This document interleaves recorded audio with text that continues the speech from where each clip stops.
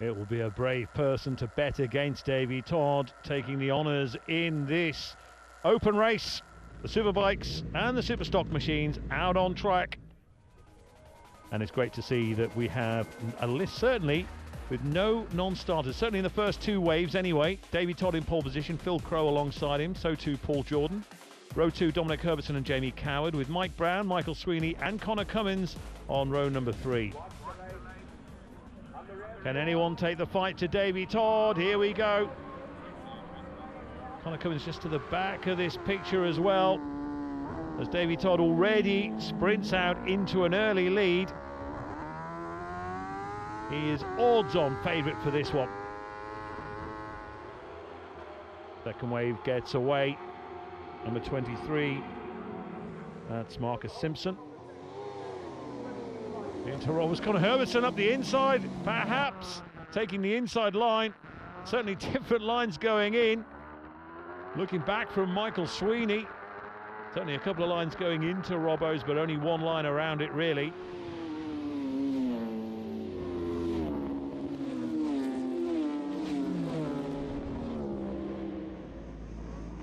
Let's watch the start again. Looking back from Dominic Herbertson. As we just see Michael Sweeney filling the picture. Good start from Conor Cummins. He's not been here for 11 years, remember. Oh, just gets a little bit tight, but just managed to get ahead of Paul Jordan. It was a squeeze through there. Through Church Bends, Davey Todd pulling away. Phil Crowe into second position. Jamie Coward's also up there. So too Dominic Herbertson. Michael Sweeney. There goes Herbertson past Sweeney. Great to see Michael Sweeney racing again. Oh ho! Davey Todd flying. They ride the waves down into Bellany Cross. And you just know that Davey Todd under that helmet has a broad smile across his face. Back with Dominic Herbertson. That was a great move to go past Michael Sweeney and move up into fourth position.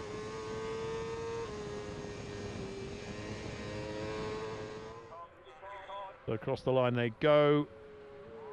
Todd from Crowe, from Coward, Herbertson. Looks like Sweeney in fifth. Conor Cummins in sixth position.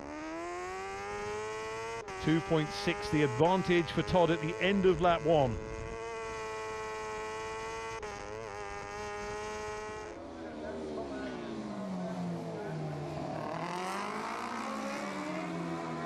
Already gaps between the front runners here and Armoy.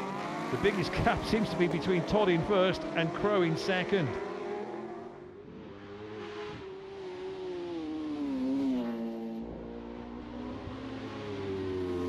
Conditions perfect here now at Armoy after the rain and drizzle of yesterday. Such grace, such style, such power from Todd through Church Bends.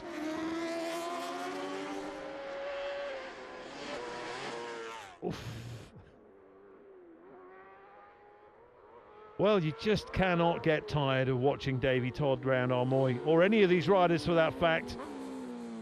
I hope some of them have taken seasickness pills. My goodness. Wes Herbertson, Sweeney, Conor Cummins on that Superstock FHO BMW. From what I gather, it hasn't uh, been raced before this weekend.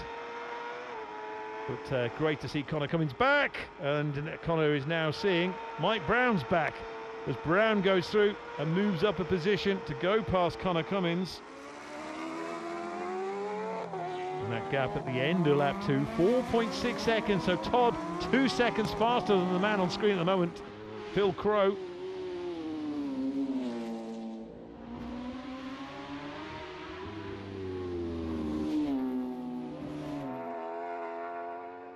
It's not all about Davey Todd, of course. Plenty of racing elsewhere down the field as Matt Stevenson moves up a position at the expense of Ryan Whitehall.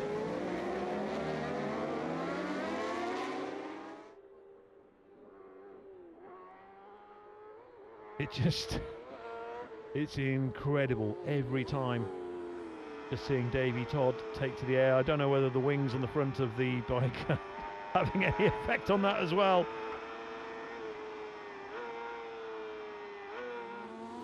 Here's Conor Cummins though. And he's got Paul Jordan just behind him. Paul Jordan looking to go the long way around at Bellany Cross. If there is such a thing as the long way around. The Todd across the line again. Extending that lead out in front.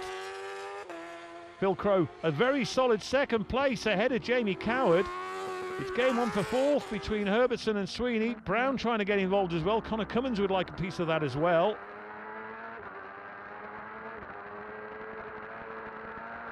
So we're at the halfway point in this race. And that gap this time around, seven seconds between Todd and Phil Crowe.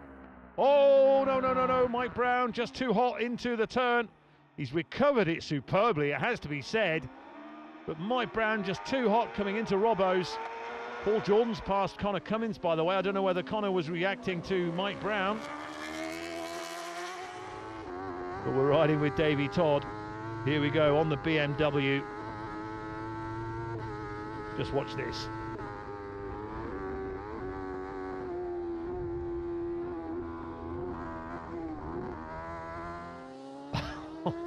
Feet on the pegs. Front wheel in the air. Moving that back wheel around. Yeah, Davey Todd's having a great time here at Armoy this weekend. So too the fans who've turned up today. And many will be disappointed. There's no Michael Dunlop here, of course. However, Davey Todd is putting on a display that they'll remember for a mighty long time to come. So too many of these other riders. But Conor Cummins, great to see him back racing again. Really good to see him back racing again, in fact. He's learning his way around Armoy again and also his way around on a new machine to him.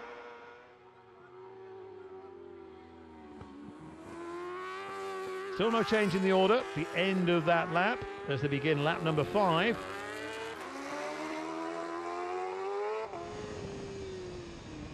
Jody Coward still in third place on the Honda behind Phil Crowe, maybe not. A mistake this time by Crowe. He manages to hang on to second place. However, it's game on for second place now. And Coward is going to take full advantage. You would see, oh no, Crowe just manages to squirt it back on as they power down towards Church Bends. But uh, for a moment there, it looked as if Phil Crowe had given up second place. Maybe a lack of concentration, maybe just trying to break a little bit later in his quest to try and reduce that gap at the front. The impossible task to Davey Todd, it would seem. But he's now made a real game of it between himself and Jamie Coward for second place, and Coward will be encouraged having seen Phil Crowe make that mistake.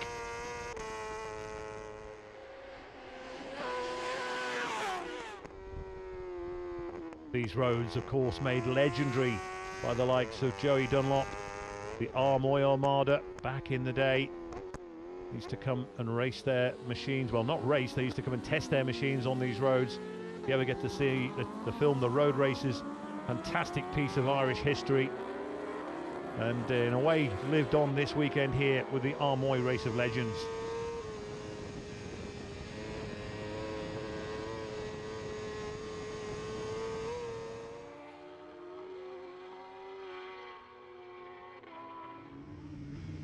It's still plenty to play for. Phil Crowe has a rider ahead of him. And they uh, managed to get both managed to get past him. But Todd continues to lead. He's the only rider to lap inside 1 minute 40 so far. Everyone else is really in the 142s, the 43s. The slower rider at the back just uh, managing to stay out of the way of Dominic Herbertson.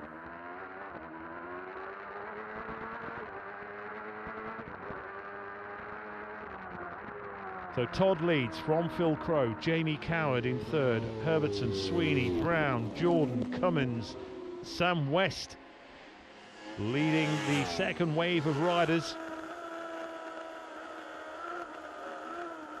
David Todd in amongst the third wave now. Just picking his moment.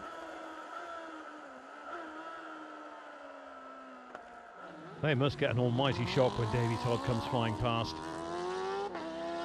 Well, Phil Crowe, despite that earlier misdemeanor, still hanging on to second place from Jamie Coward in third. Just uh, no blue flags, of course. To warn Dennis Booth that the First wave riders are coming through.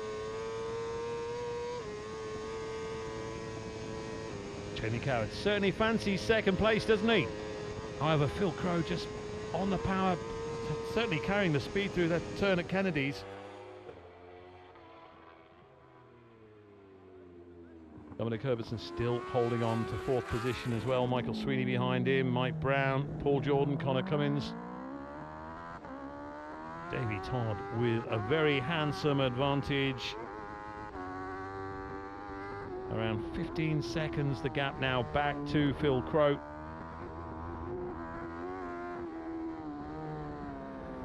So having broken the lap record, Davey Todd looks as if he's going to take a race victory here at Armoy. Started, as I said, at the beginning of this race, the red-hot favourite. And certainly he's having a great season. The Southern 100 champion, of course. The of Man Senior TT winner on the British circuits. He's leading the National Superstock Championship.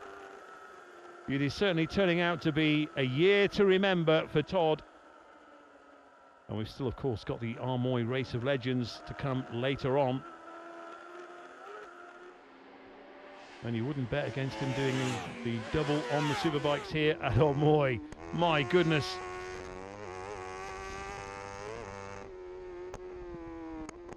You just hope really that uh, one of the third wave riders, oh my goodness me, Phil Crowe just finding the gap to go through. I was going to suggest maybe you don't want them influencing who finishes second and who finishes third. That was Don McFadden. Here comes Todd to cross the line in first place. What a result, what a performance, and a stoppy, the customary stoppy as well from Mr. Todd. It will be Phil Crowe in second from Jamie Coward. Mike Brown fighting and trying to take the position, but not quite uh, snatching it from Michael Sweeney at the checkered flag. Congratulations, Davey Todd. I think to say he and the fans thoroughly enjoyed that one. Confirmation of the results then. Mike Brown in sixth, just behind Sweeney. Dominic Herbertson fourth, Jamie Coward third, Phil Crowe second, and Davey Todd the race winner.